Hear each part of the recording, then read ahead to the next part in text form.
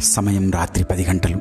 ఊరంతా షికార్లు తిరిగి అప్పుడే ఇంటికి చేరిన కొడుకును అమ్మా నాన్నలు మందలించారు. తిరుగుళ్ళు మాని చదువు మీద ధ్యాస పెట్టమని హితవు చెప్పారు. చిన్నప్పటి నుంచి చూస్తున్నాను. నాకు అసలు స్వేచ్ఛ ఇవ్వట్లేదు మీరు. ఎంతసేపు చదువు చదువు అని నా ప్రాణం తోడేస్తున్నారు. ఏం? స్నేహితులతో గడపకూడదా? సినిమాలకు షికారులకు పోకూడదా? అందరూ వెళ్ళట్లేదా? ఓ గంట ఫోన్ మాట్లాడితే తప్ప. ఫేస్బుక్ చాటింగ్తో కంపలేమన్నా మునుగుతాయా? అసహనంతో చిందులు తొక్కాడు కొడుకు.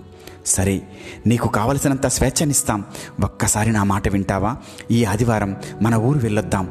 వచ్చాక నీ ఇష్టం అన్నాడు తండ్రి. కొడుకు సరే అన్నాడు. నేను ఇక్కడే ఉంటాను. నువ్వు వెళ్ళి తోటంతా చూసిరా అన్నాడు తండ్రి. ఊళ్ళోని మామిడి తోటను చూపించటానికి కొడుకును తీసుకుని వచ్చాడాయన. ఓ గంట తర్వాత కొడుకు తిరిగొచ్చాడు. నాన్న ఇక్కడ అన్ని చెట్లు బాగానే ఉన్నాయి కానీ ఒకటి మాత్రం పొట్టిగా పురుగులు పట్టి కాయలు లేకుండా ఉంది. ఏమైంది దానికి? అని అడిగాడు.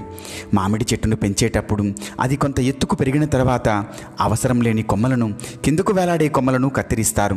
లేదంటే ఈ వేలాడే కొమ్మల వల్ల చెట్టుకు ఎండ తగలక ఆ చెట్టు పెరుగుదల ఆగిపోయే అవకాశం ఉంది. అలాగే పురుగులు చేరుతాయి. అన్ని చెట్లకు కొమ్మలు కత్తిరించాం. అందుకే అవన్నీ ఆరోగ్యంగా ఉన్నాయి. కానీ ఆ చెట్టుకు కత్తిరించలేదు. మొదటి నాటింది కదా. స్వేచ్ఛగా పెరగనిద్దామని అలా వదిలేశాం. అన్నాడు తండ్రి. అబ్బాయికి విషయం అర్థమైంది.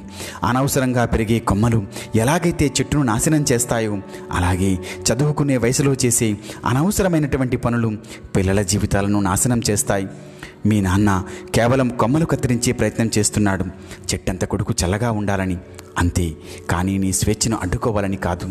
అంటూ కొడుకు భుజం తట్టాడు తండ్రి. బిడ్డల బాగు కోసమే తల్లిదండ్రులు కాస్త కఠినంగా ఉంటారు. ఉన్నట్లు కనిపిస్తారు. కానీ వాళ్ళ మనసులు స్వచ్ఛమైనవి. అర్థం చేసుకున్న పిల్లలు ఆకాశమంతా ఎత్తుకొదుకుతారు అచ్చం వేలాడే కొమ్మలు కత్తిరించిన చెట్టులా.